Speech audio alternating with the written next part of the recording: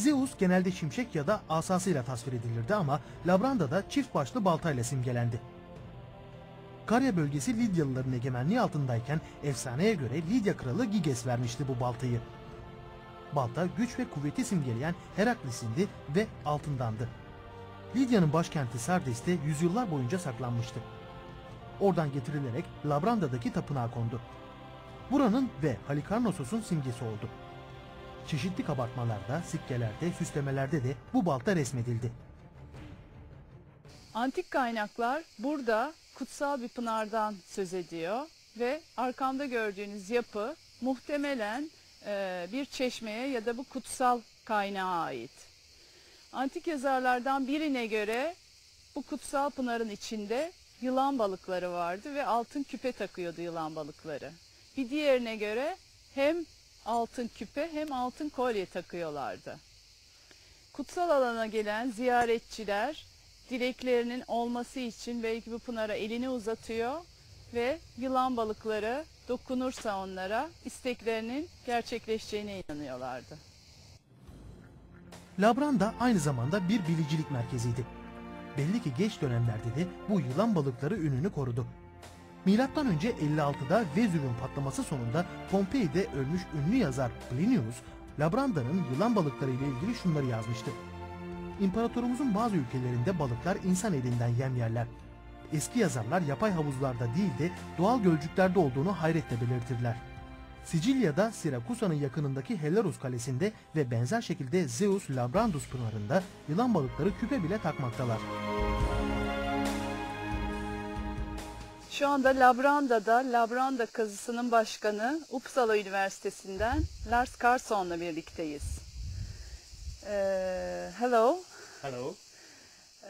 You İsveç heyeti 1948'den beri burada kazı yapıyor. Siz ne kadar zamandır Labranda kazılarını yönetiyorsunuz? 48, but you uh, at Labranda uh, Yes, I came here as a young student 1993. Ben buraya genç bir öğrenciyken at the Swedish 1993'te Research geldim ve aşık oldum. Roma'da çalıştım. Sonra Uppsala Üniversitesi'ne döndüm. and- and Burada the kazı yapan profesör emekli oldu. Biz üniversite olarak Labranda'daki çalışmalara devam etmek istedik. job in Rome 2004'ten beri kazının başındayım.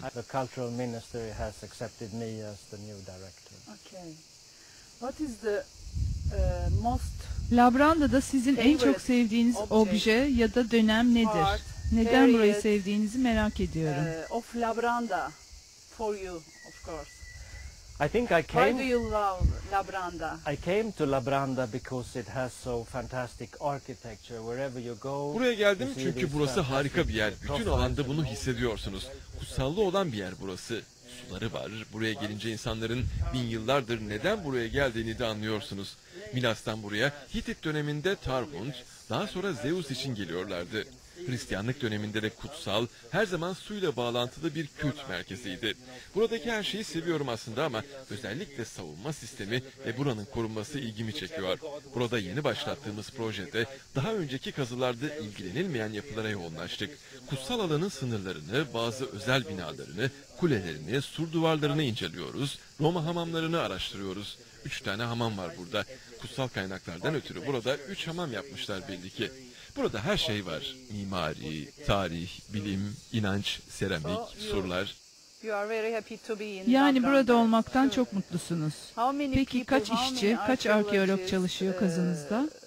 and people, of course, uh, working in Labranda.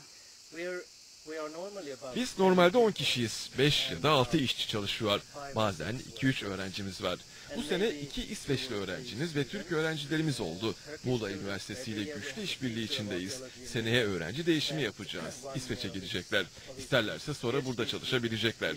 Hocalarla da böyle değişim çalışmaları yapıyoruz. So we have a strong connection already with Mula University. Uh, could you please Bize uh, sponsorlardan bahsedebilir misiniz? Kazı için kimler yardım ediyor size? for the excavations? The sponsor that is Bize en fazla para veren sponsorumuz 1950'lerde burada kazı yapılırken buraya gelen bir vakfın sahibi. Öldükten sonra buraya da para bağışlamış birisi. Tıp araştırmalarına da yardım ediyor. Şimdi de yardım ediyorlar. Uppsala Üniversitesi yardım ediyor ayrıca. Küçük vakıflar da var ama her yıl parayı bulmak en zor iş. Kazı 5 hafta sürüyor ama senenin büyük kısmı para bulmaya harcanıyor. Çok kolay değil bu. İnsanlar artık sosyal kampanyalara para aktarıyor. Arkeolojik çalışmalara çok zor para bulunuyor. Ama biz burayı çok seviyoruz. So thank you very much. Çok teşekkür Good luck. ederiz. Bol şanslar diliyoruz size. Thank you very much. Thank you for coming. Ben teşekkür ederim buraya geldiğiniz, labranda suyunu içtiğiniz, bizimle konuştuğunuz için. Thank you. Kutsal alanda bulunmuş Karca metinlerinin çözülen kısımlarına bakılırsa din ve sihirle ilgili oldukları düşünülüyor.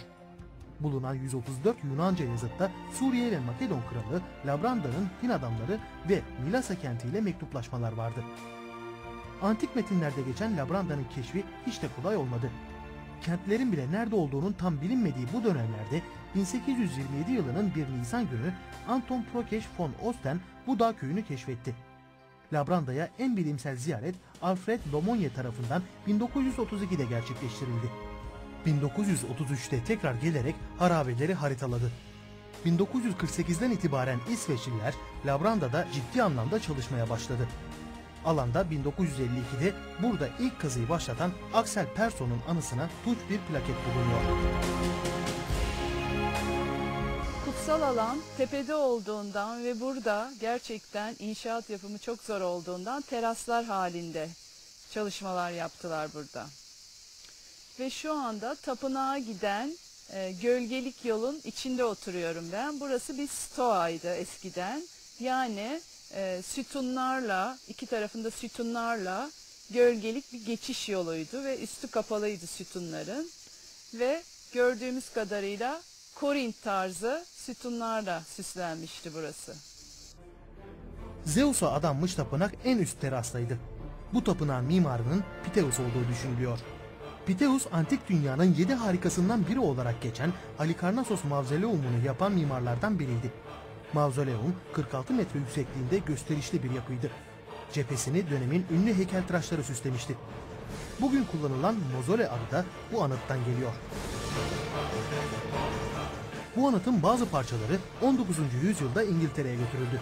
Bu parçalar bugün British Museum'da sergileniyor. Bazı parçaları da Bodrum Kalesi'nin yapımında kullanıldı. Thank you.